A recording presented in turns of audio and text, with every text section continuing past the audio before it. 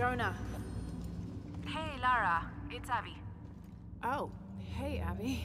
I found a mural. It seems to depict some kind of journey. Entering through a jaguar mouth follows a serpent toward a silver eye. Uh-huh. On the way, there's a spider and an eagle that rises toward a temple. Okay, I don't know about most of that, but the jaguar mouth is back this way. Really? Yeah. Cat sculpture, big teeth. Oh, here. He's back. Lara, you okay? Yeah, I'm heading back. Good. I think you're gonna like this.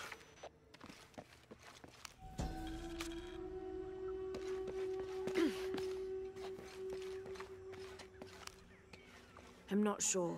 The dialect is familiar, but something's not right.